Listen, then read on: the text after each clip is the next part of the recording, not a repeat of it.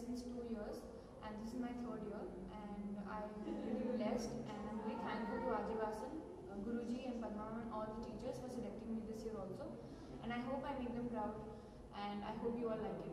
So, thank you.